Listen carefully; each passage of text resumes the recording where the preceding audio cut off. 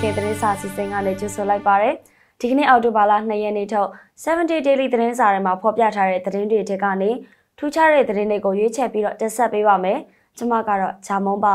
ဦးဆောင်သတင်းကပြည်သူတွေမဲပေးနိုင်ဖို့နဲ့ရွေးကောက်ပွဲလုပ်ငန်းစဉ်တွေဆောင်ရွက်နိုင်ဖို့ကျန်းမာရေးဆိုင်ရာစံလုပ်ငန်းလမ်းညွှန်တွေကိုကော်မရှင်ထုတ်ပြန်တဲ့သတင်းတင်ဆက်ပေးပါမယ်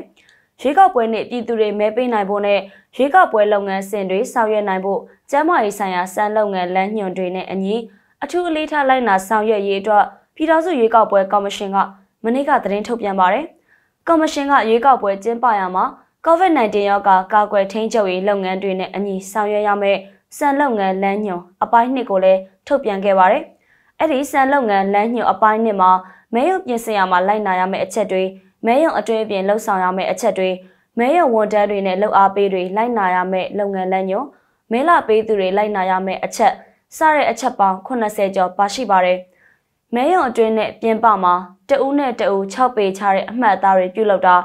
မဲရုံနဲ့မဲရုံသုံးပစ္စည်းတွေကိုရွေးကောက်ပွဲမကျင်းပခင်တရက်နဲ့ကျင်းပပြီးနောက်နေ့မှာပိုးသက်စင်တာလက်စေးနိုင်ဖို့အစီအစဉ်ထားတာရေမလို့လက်သက်စေးရင်အနည်းဆုံး9နေရာမှာထားရှိတာစတဲ့အချက်တွေပါဝင်ပါတယ်။စန္ဒမဲပေးပြီးလက်တံမှင်တို့ရမှာအသုံးပြုမဲ့အယ်ကိုဟော80ရာခိုင်နှုန်းနဲ့ဖျော်ဆက်တဲ့မှင်ကို အဝကျဲခွက်နဲ့အသင့်ထားရှိတာ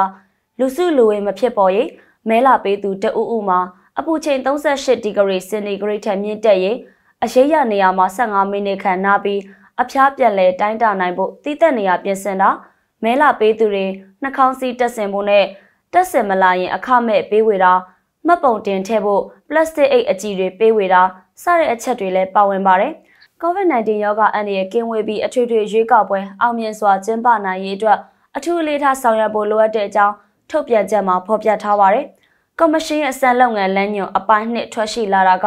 သတ်မှတ်ရတဲ့အထွေထွေရွေးကောက်ပွဲကျင်းပမယ်လို့ထပ်မံအသိပေးအတည်ပြုတာဖြစ်ပြီးတော့ထုတ်ပြန်ထားတဲ့စီကံသတ်မှတ်ချက်တွေအတိုင်းလိုက်နာဆောင်ရွက်ရမှာဖြစ်တဲ့အကြောင်းခရိုင်ကော်မရှင်အဖွဲ့ခွဲဥက္ကဋ္ဌတူကပြောကြားခဲ့တာပဲဖြစ်ပါတယ်ရှင်။နောက်ထပ်တင်ဆက်ပေးမယ့်သတင်းကတော့ရုံလေးရဲ့ဖက်နှက်ကြော်ညာလိန်ပိုင်းဆိုင်ရာထိပါမှုကိုဟာသပုံစံတင်ဆက်ထားတာဖြစ်တဲ့အကြောင်း ဝေဖန်နေကြတဲ့သတင်းပါ။ရုံလေးရဲ့ Facebook မှာတင်ထားတဲ့ဖက်နှက်ကြော်ညာဇက်လန်ထဲမှာအမျိုးသမီးတဦးကိုလိန်ပိုင်းဆိုင်ရာအနောက်ရှက်ပေးတာကိုဟာသပုံစံနဲ့တင်ဆက်ထားတဲ့အပေါ်အမျိုးသမီးအရေးလှုပ်ရှားသူတွေနဲ့ကြည့်ရှုသူပရိသတ်တွေကဝေဖန်ရှုတ်ချခဲ့ကြပါတယ်။အကြံဖက်ခံရတဲ့အမျိုးသမီးတွေကိုကူညီပေးတဲ့ Legal Clinic မြန်မာတီထောင်သူဒေါ်လှလှရီပြောလိုက်တာကတော့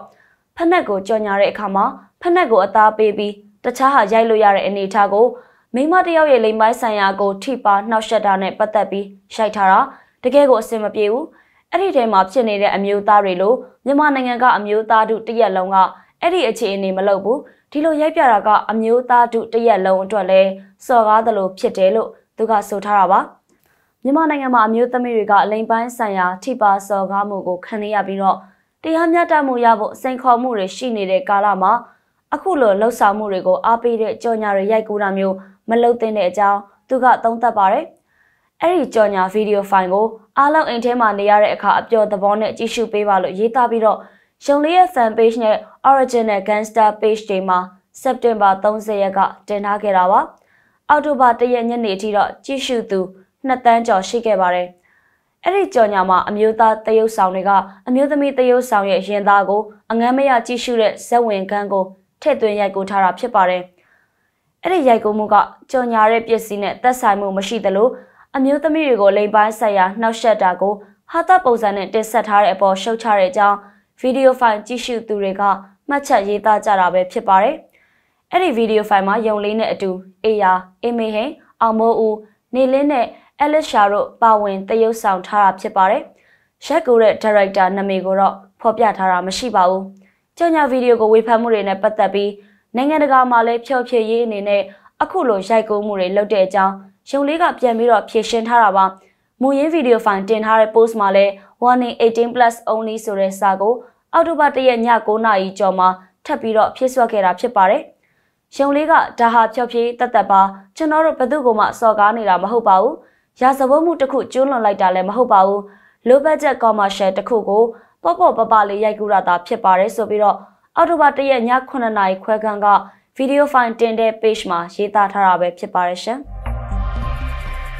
ဥဦးအဖောင်းရှိုဆွဆွဲပြစ်တင်ခံရမှုခြေဥနဲ့ညီမညီအခြေခံဥပဒေခုံရုံးစစ်ဆေးမယ်ဆိုတဲ့သတင်းကိုဆက်ပြီးတင်ဆက်ပေးပါမယ်။ကရပြည်နယ်ဝန်ကြီးချုပ်ဟောင်းဦးအဖောင်းရှိုဆွဆွဲပြစ်တင်ခံရမှုဖွဲ့စည်းပုံအခြေခံဥပဒေနဲ့ညီမညီအခြေခံဥပဒေခုံရုံးကလာမယ့်အောက်တိုဘာ6ရက်မှာစတင်ကြားနာမှာဖြစ်ပါတယ်။ အဲ့ဒီကြားနာမှုကနိုင်ငံတော်ဖွဲ့စည်းပုံအခြေခံဥပဒေဆိုင်ရာခုံရုံးတက်တန်းနှစ်ခုအတွင်းမှာပထမဆုံးအမှုလည်းဖြစ်လာပါတယ်။ဝန်ကြီးချုပ်ဟောင်းဦးအဖောင်းရှိုကဖွဲ့စည်းပုံအခြေခံဥပဒေပါပြဋ္ဌာန်းချက်တွေကိုဖောက်ဖျက်တဲ့ဆိုပြီးပြည်내လွှတ်တော်ကစက်တင်ဘာ၁ရက်ကမဲခွဲဆုံးဖြတ်ပြီးဝန်ကြီးချုပ်ရာထူးကနေဖြုတ်ချခဲ့တာပါဒီလိုဖြုတ်ချခံရမှုကဖွဲ့စည်းပုံအခြေခံဥပဒေပါပြဋ္ဌာန်းချက်တွေနဲ့ညီညွတ်မှုရှိမရှိအနက်တိတ်ပဲဖွင့်ဆိုပေးဖို့ဦးအဖောင်းရှိုက နိုင်ငံတော်ဖွဲ့စည်းပုံအခြေခံဥပဒေဆိုင်ရာခုံရုံးကို တင်ပြခဲ့တာပါတင်ပြမှုနဲ့ပတ်သက်ပြီးခုံရုံးကအခြေခံဥပဒေဆိုင်ရာအချက်၃ချက်ကိုစစ်ဆေးကြားနာမှာဖြစ်တဲ့အကြောင်းအောက်တိုဘာ၁ရက်ကထုတ်ပြန်ထားပါတယ်။ဦးအဖောင်းရှိုကိုနိုင်ငံတော်သမ္မတကစက်တင်ဘာ3ရက်မှာပြည်내ဝန်ကြီးချုပ်ရာထူးကရက်စဲပြီးဖြစ်တဲ့အတွက်ခုံရုံးကိုတင်သွင်းခွင့်ရှိသူဟုတ်မဟုတ်အရင်ဆုံးကြားနာမှာပါ။အဲ့ဒီလိုပဲဝန်ကြီးချုပ်ကိုဆွဆွဲပြစ်တင်သူ9ဦးထက်ကဦးသိန်းအောင်ခေါ်ဦးဆဲရဲ့နှုတ်ထွက်သွားတဲ့အတွက် လွှတ်တော်ကိုယ်စားလှယ်စုစုပေါင်းဦးရေအနည်းဆုံး၄ပုံတပုံပြည့်တာမရှိတဲ့အခြေအနေမှာဆွဆွဲချက်ကိုဆက်ပြီးစစ်ဆေးတာနဲ့ပတ်သက်လို့ဖွဲ့စည်းပုံအခြေခံဥပဒေပုံမှန်263ခါခွေကိုအ내ဖွင့်ဆိုဖို့လိုအပ်တာရှိမရှိကြားနာမှာဖြစ်ပါတယ်။အဲ့ဒါပြင်ဆွဆွဲပြစ်တင်ရမှာပါဝင်သူလွှတ်တော်ကိုယ်စားလှယ်၃ဦးကိုစုံစမ်းစစ်ဆေးရေးအဖွဲ့မှထည့်သွင်းဖွဲ့စည်းတာနဲ့ပတ်သက်ပြီးဖွဲ့စည်းပုံအခြေခံဥပဒေပုံမှ263ခငယ်ကိုအ내ဖွင့်ဆိုဖို့လိုအပ်တာရှိမရှိ ကြားနာမှာဖြစ်တဲ့အကြောင်းခုံရုံးထုတ်ပြန်ချက်မှာဖော်ပြထားပါတယ်။ခုံရုံးမှာကြားနာတဲ့အခါ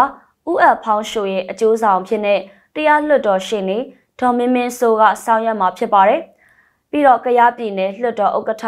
ဦးလာထွေးကကိုယ်တိုင်ပါဝင်ရှင်းလင်းမှာလည်းဖြစ်ပါတယ်။စက်တင်ဘာ30ရက်မှာဝန်ကြီးချုပ်ဟောင်းအပေါ်အဂရိနဲ့အရေးယူပေးဖို့တိုင်ကြားမှုနဲ့ပတ်သက်ပြီးစုံစမ်းစစ်ဆေးခွင့်မရှိတဲ့အကြောင်းအဂရိကော်မရှင်ကအကြောင်းပြန်ထားပါတယ်။ ဦးအဖောင်းရှိုကနိုင်ငံတော်ပိုင်ငွေတွေကိုကိုကျိုးအတွက်အသုံးပြုခဲ့တဲ့အတွက်အဂရိဥပဒေနဲ့အရေးယူပေးဖို့ကရားပြည်နယ်လွှတ်တော်ကပြီးခဲ့တဲ့စက်တင်ဘာအတွင်းမှာကော်မရှင်စီကိုတိုင်ကြားစာပေးပို့ခဲ့တာဖြစ်ပါတယ်။တိုင်ကြားစာထဲမှာပါတဲ့အကြောင်းအရာတွေကအာဂရိတိုက်ဖြတ်ရေးဥပဒေကိုစရုပ်ထအကျိန်ပြင်ဆင်ပြဋ္ဌာန်းတာမလုပ်ခင်ကကိစ္စတွေဖြစ်တဲ့အတွက်စုံစမ်းစစ်ဆေးခွင့်မရှိတဲ့အကြောင်းဖော်ပြထားပါတယ်။အဲ့ဒါအပြင်အခုပေးပို့လာတဲ့တိုင်ကြားမှုမှာအရေးကြီးတဲ့တပ်သေးခံချက်အသစ်မပါရှိတာတွေကြောင့် အာဂရိတိုက်ဖြတ်ရေးဥပဒေပုံမှန်22အရ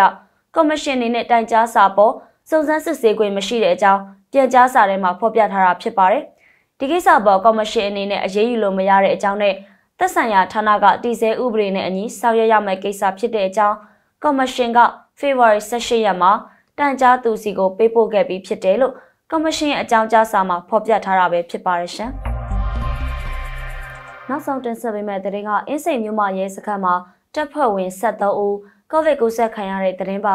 အင်းစိန်မြို့မရဲစခန်းမှာရဲတပ်ဖွဲ့ဝင်73ဦး COVID-19 ရောဂါပိုးကူးစက်ခံခဲ့ရပါတယ်။ဒါကြောင့်သူတို့နဲ့ဆက်ဆက်တဲ့မိသားစုဝင်တွေကိုစောင့်ကြည့်နေတယ်လို့အင်းစိန်မြို့မှာရဲစခန်းကစခန်းမှုဒုရဲမှုတင်လက်ကပြောပါတယ်။ပြီးခဲ့တဲ့ရက်ပိုင်းကအင်းစိန်မြို့မှာရဲစခန်းမှာတာဝန်ထမ်းဆောင်နေတဲ့ရဲတပ်ဖွဲ့ဝင်တဦးစီမှာ COVID-19 ရောဂါလက္ခဏာတွေဖြစ်ပေါ်ခဲ့တာပါ။ ဒါကြောင့် quarantine ထားပြီးစောင့်ကြည့်စစ်ဆေးခဲ့ရမှာတော့ယောဂရှိတဲ့အကြောင်းတွေ့ရှိခဲ့တာလို့ဒုရဲမှုတင်လက်ကပြောပါတယ်။အဲ့ဒီနောက်သူနဲ့ဆက်ဆက်နေတဲ့တခြားတပ်ဖွဲ့ဝင်12ဦးကိုထပ်ပြီးစစ်ဆေးကြည့်တဲ့အခါသူတို့စီမှာလည်းယောဂပိုးရှိတဲ့အကြောင်းထပ်ပြီးစစ်ဆေးတွေ့ရှိခဲ့တာဖြစ်ပါတယ်။ယောဂစတင်တွေ့ရှိတဲ့ရဲတပ်ဖွဲ့ဝင်တအုပ်ကိုလှဲကူးမြို့နယ်မှာရှိတဲ့ဖောင်ကြီးကုသရေးစင်တာမှာစေကုသနေပြီးကျန်တဲ့12ဦးကိုတော့တကုံမြို့သစ်မြို့နယ်မှာရှိတဲ့ကုသရေးစင်တာမှာစေကုသပေးနေပါတယ်။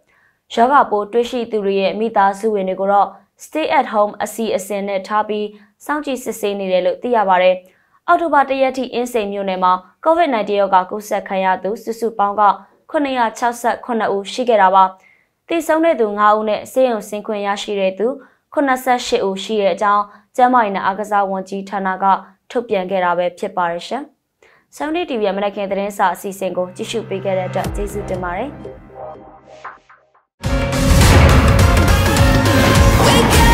是你